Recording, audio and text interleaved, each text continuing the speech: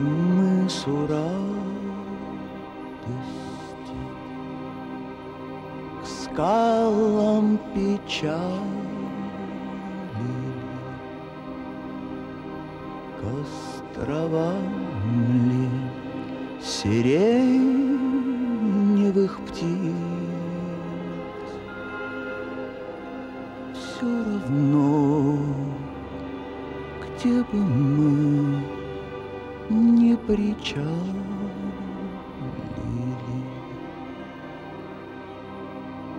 поднять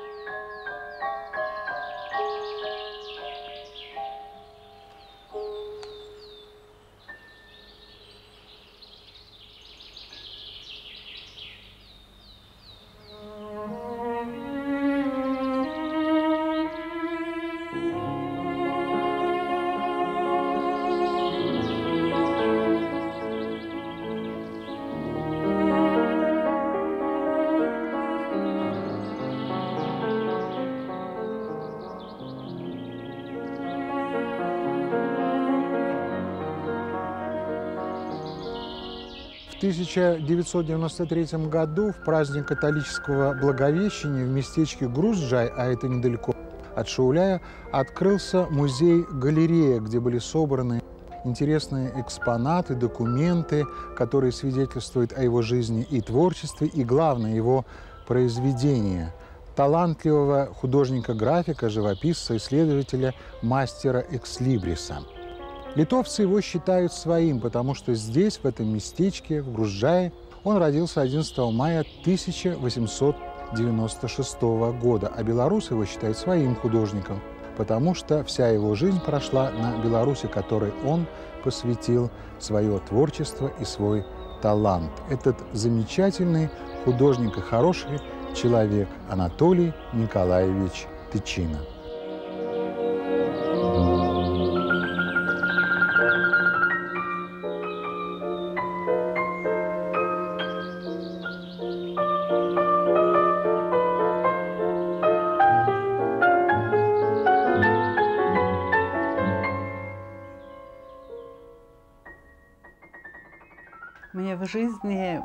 Повезло с моими родителями.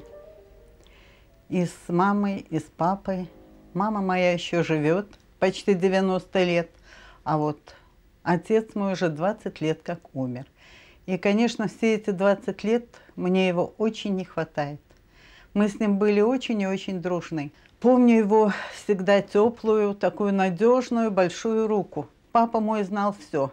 Каждое здание, которое стояло раньше, его историю, все наши храмы, монастыри, которые были. Очень сожалел о том, что было э, разрушено.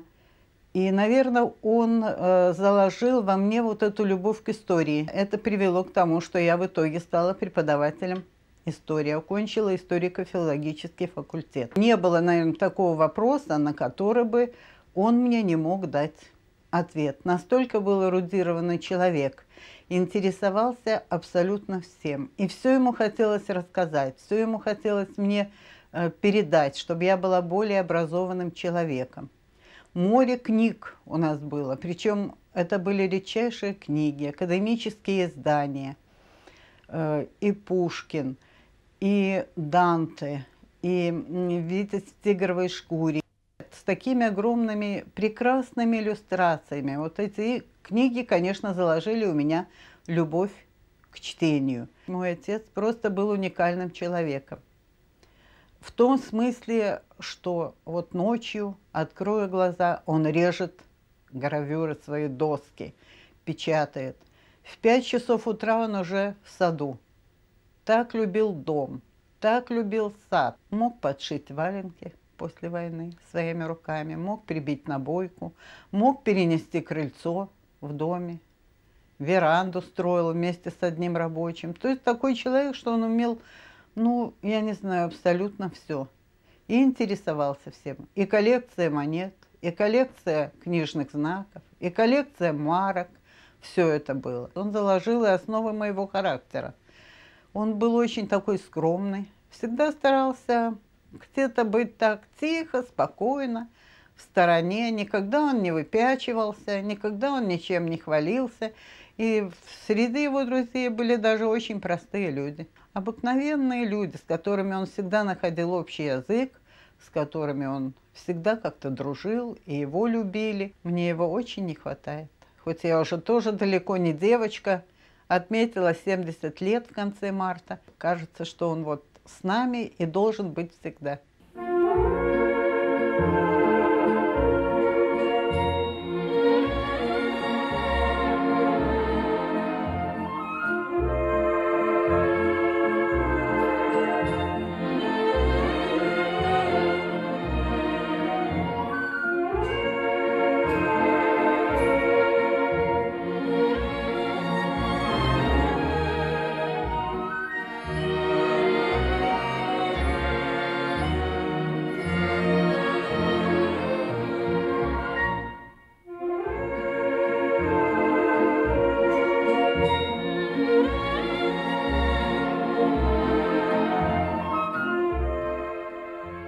Николай Федорович Тычина, отец Анатолия, умер рано. А Толику не было еще и года, и воспитывала его Мария Флориановна, мать художника. Его родная тетка Флора учила грамоте по польским подручникам и произведениям Генрика Сенкевича и Адама Мицкевича.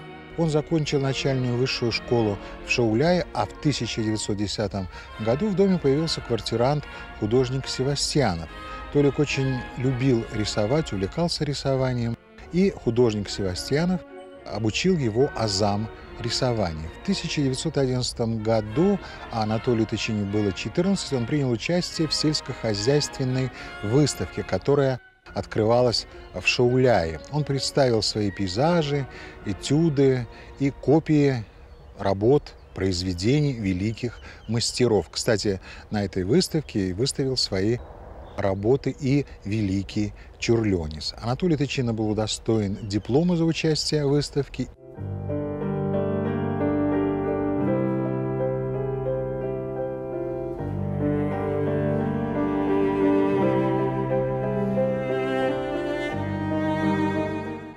Некто Зубов, организатор выставки, решил за свои деньги послать талантливого юношу учиться в Пензенское художественное училище, одно из лучших училищ в России. Он учился в Пензенском училище, потом в Омском училище, а в 1922 году Анатолий Тычина приезжает в Минск, и начинается один из самых интересных периодов его творческой жизни.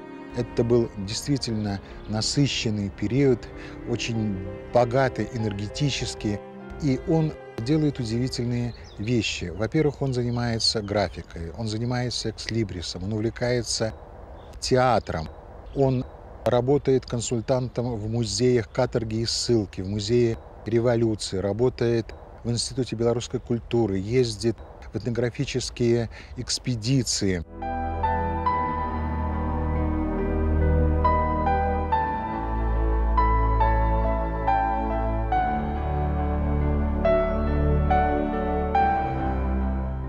Самое главное, начинает очень плодотворно работать в области книжной графики.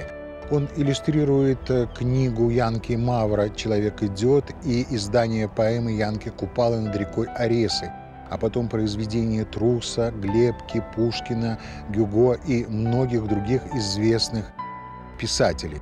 Он участвует в 1928 году и с успехом в международной Лейпцигской выставке книжной графики. Все интересно, все хочется узнать, а он обладал удивительным качеством характера дойти до сути того, чем он увлекался, что он делал и что он любил. 41 год, война, оккупация.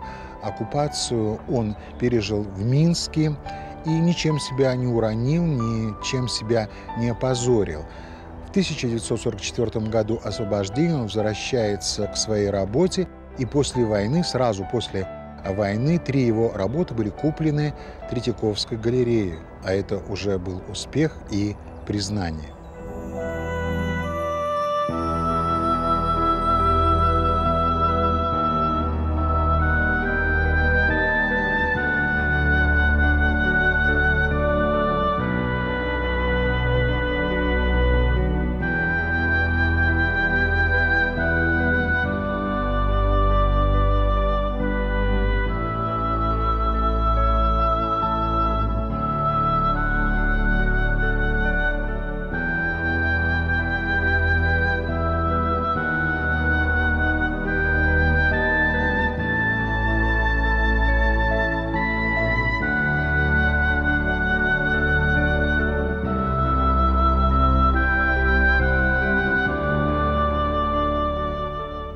Сравнивать графику начала 21 века а, с той, что делал Анатолий Николаевич Тычина, создавал Николай Анатольевич Тычина в начале 20 века, в середине 20 века не надо и не нужно.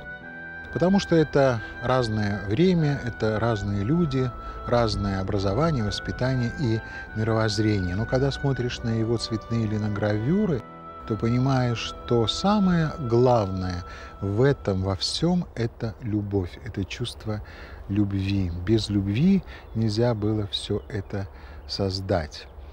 И на его линогравюрах, например, Минск, он всегда выглядит праздничным, торжественным, светлым, красивым в будни и в дни красные календаря, вечером и утром в разные поры года. Проспект Сталина, улица Советская, Дом офицеров, библиотека Ленина, набережная Свислочи. А его экслибрисы, он был непревзойденным мастером экслибриса, его книжные иллюстрации, особенно иллюстрации к детским книгам, он был уверен и правильно был уверен в том, что детей нужно воспитывать доброй красотой, пейзажи, натюрморты.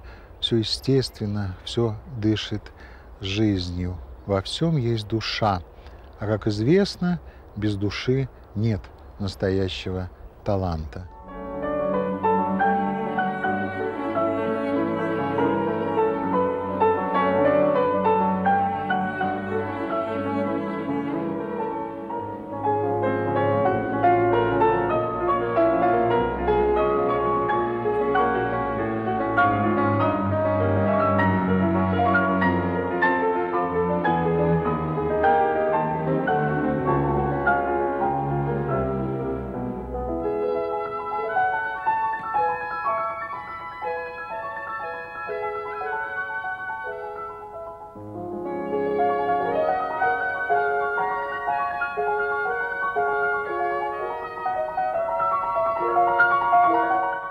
Вышла замуж за своего педагога. Он преподавал нас в школе рисования. Я говорила, что я хочу учиться. Да-да, пожалуйста. Он не возражал, и через год я поступила в театральное, наше белорусское театральное училище. Училась четыре года. Многие тягости нашей жизни он брал на себя – он растил дочь. Его мама жила с нами. Потом он привез к нам мою маму, потому что она осталась одна. Вот у нас собралась семья. Анатолий Николаевич, Алочка и две наши мамы. Мы жили очень счастливо, мы жили очень дружно. Анатолий Николаевич очень много работал, очень много ездил. Целый ряд работ по рекам Белоруссии – много показывал труд человека. Очень любил город, очень любил Минск. Все новшества, первый же дом, первый же парк, первый трамвай и троллейбус. Весь наш чудесный Минск во всех почти его работа. Его называют певец Минска.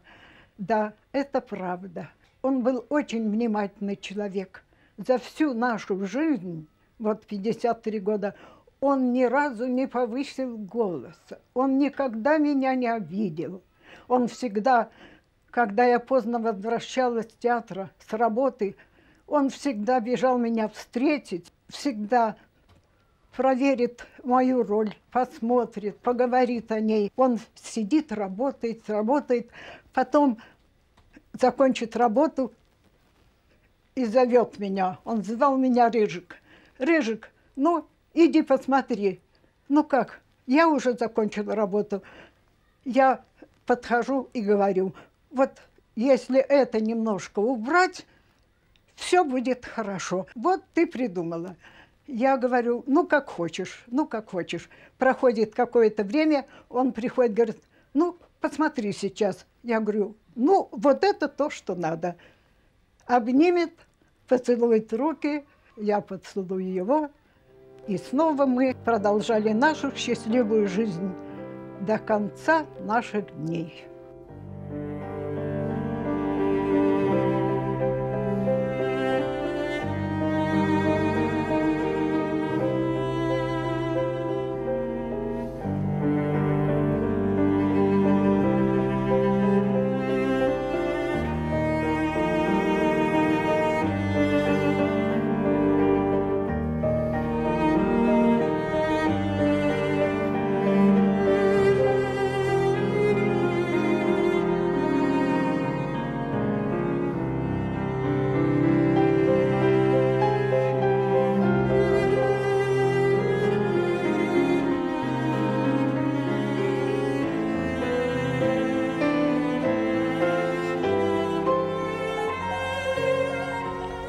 Со своей женой Зинаидой, Зинаидой Семеновной, он знакомился дважды. Так уже получилось. Она училась в элитной школе, в Белорусской исследовательской школе Минска. В ней в то время учились дети известных партийных деятелей и деятелей культуры Червякова, Желуновича, Александровской, э, Колоса. Он преподавал рисование, ей было 14, ему намного больше. Она не любила рисование, и это его очень раздражало. На уроках рисования она писала стихи. Потом прошло время, и совершенно случайно, через три года они встретились, ей было 17, ему 34, он ее не узнал. Потом была еще одна случайная встреча, а потом уже были встречи не случайные. В 1935 году они поженились, а в 1937 году у них родилась дочь Алла. Вместе 53 года.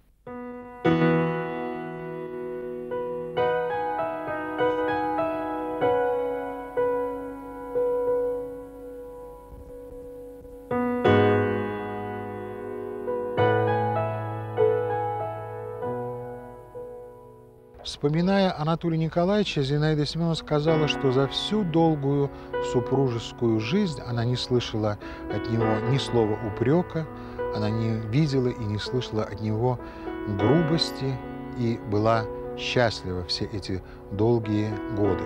Он был человеком очень интеллигентным, терпеливым, выдержанным, и даже когда у них что-то не ладилось по работе он никогда не перекладывал на плечи своих домочадцев свои проблемы.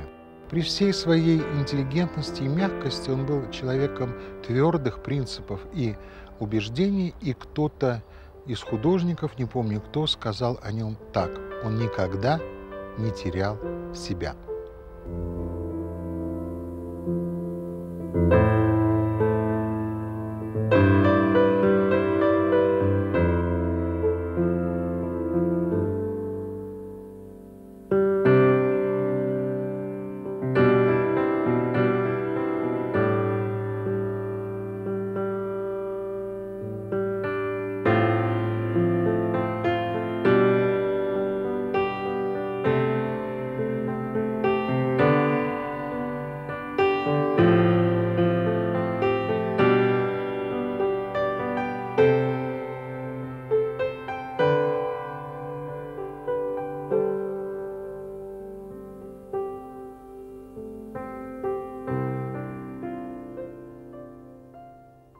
Час біжить хутка.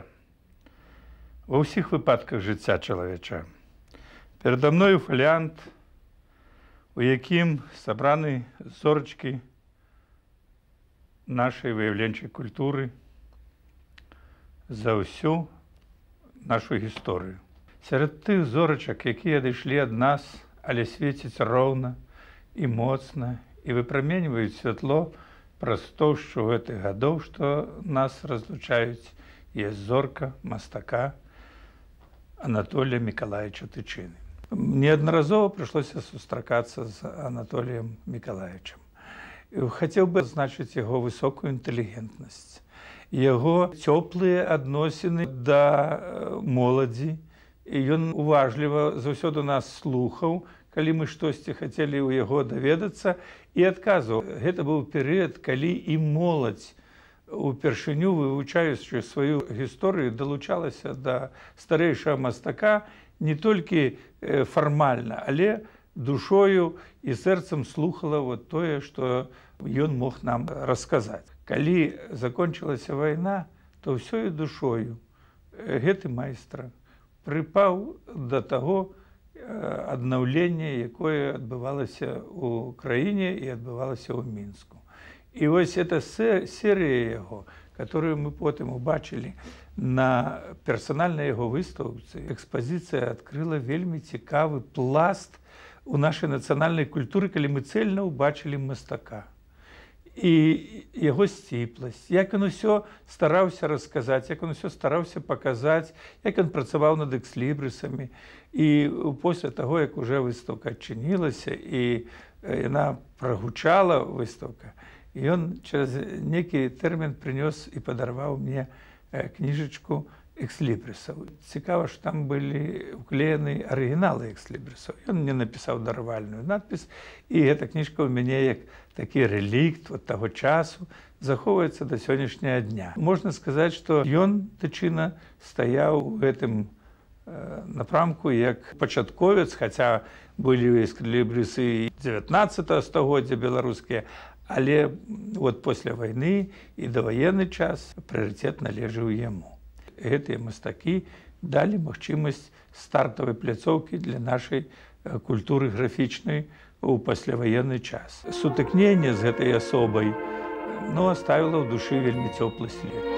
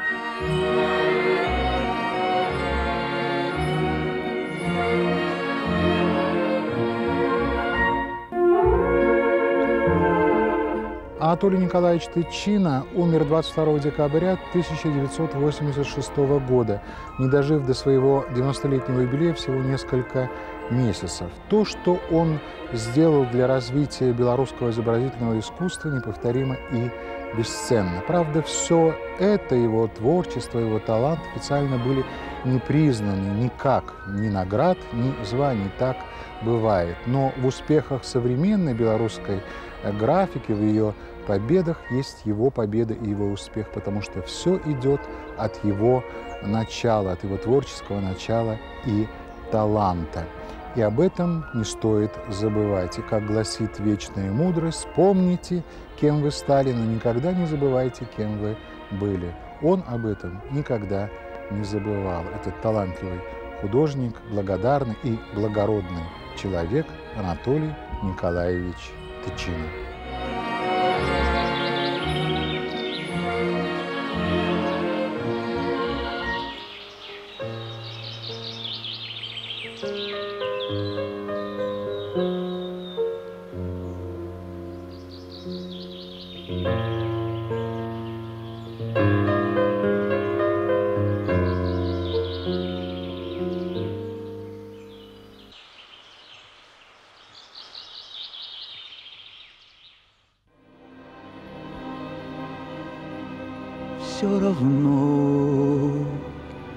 где бы мы не причалили, к островам ли сиреневых